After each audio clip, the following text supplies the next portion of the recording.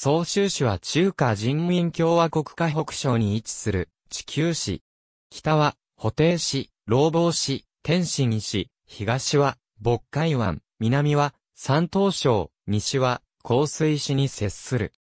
市域内の県県では、西から流れる洋河と、西南の山西省方面から流れる高川が合流して、滋賀河となっており、天津市へ流れて海河に合流している。総州の使命は、渤海湾に臨むことに由来する。古代は優州及び遠州、西州では、西州、春秋戦国時代には、遠、西、進む、朝に属した。新朝が成立し、軍憲制が施行されると、総州は、巨六軍及び、西北軍に属した。漢代には紀州及び、優州、南北朝時代には北義により、英州及び、紀州の管轄とされた。517年、北義は、総州を設置、浮世、学領、安徳の三軍を管轄した。随朝が成立すると607年に、修正が廃止され、総州は、渤海軍とされている。東朝が成立すると627年には、河北道の管轄区域とされ、その後総長では、河北あずまじ河関府、元朝は、河関路、民進朝には、直令省河関府の管轄とされた。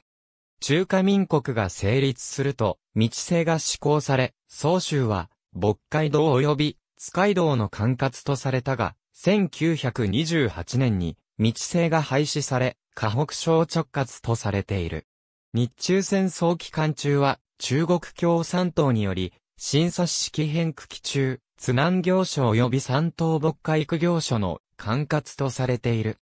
1947年に研究士の総司が成立したが、1949年8月1日に共産党が河北地区の実行支配権を確立、河北省人民政府が設置されると、総司は廃止となり、総研総鎮に降格、同時に総研選区が新設され、下部に11県を管轄した。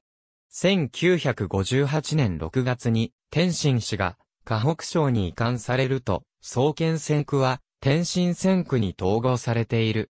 同年9月に、総研総鎮を、研究士の総集士として分割されたが、12月には、廃止となり、総研に編入されている。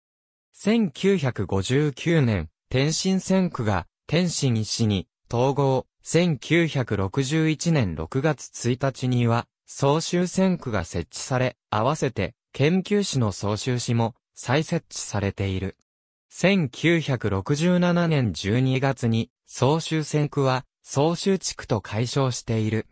1983年12月、総集市が、河北省直轄市に、昇格。1993年7月に、総集地区及び総集市が統合され現在の総集市が成立し、現在に至る。総集の鉄字市953年に建造された。河北省4つの宝の一つとされる、総集市の名所。西勝区、4県級、市、9県、一自治県を管轄する。総県、千区渤海行政区総南千区総集地区、総集市鉄道。ありがとうございます。